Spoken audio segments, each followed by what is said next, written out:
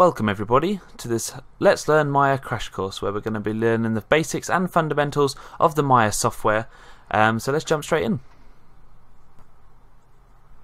Okay guys, so first of all we're going to have to set up our project. This is the first step um, with any project that you do and I highly recommend uh, this due to keeping all your files together, saves any loss of files, and it keeps everything nice and tidy, especially if you're handing it to clients, etc.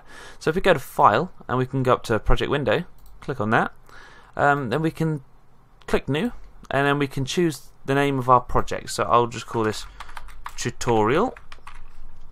And the location can be on the desktop, doesn't really matter. Uh, you can choose that wherever you uh, feels best. And then we can click accept. But before that, just to highlight, these are all the subfolders that are going to be included in this master folder. So we do that, and then we can come onto the desktop and we can open up this file now. Um, and then you can see all these folders. And just to quickly highlight, um, if you have any FBX files, for example, my Boeing 737 cockpit FBX file, which is purely a 3D model file, that can pop in the assets folder because it is an asset. However, big scenes like Blockout 1, which I'm currently working on, will go in the scenes folder. And then any texture sheets in source images. So keep that in mind, but we'll go back into um, Maya and then what I'll show you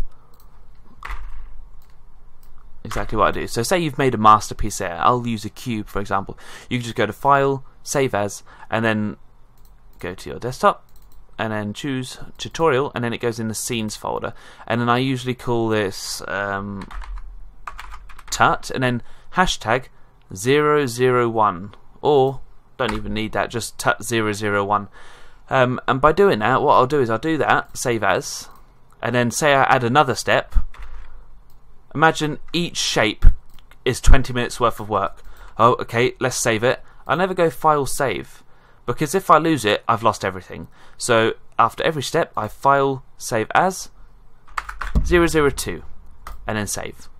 So then that way you can keep a nice progression of your files and it saves any major loss just in case one file gets corrupted. Okay, so that's uh, the basics to creating a, a folder, a project, sorry, inside of Maya. And the next show we're going to look at the Maya interfaces and what kind of stuff will help you for modeling, animation, etc.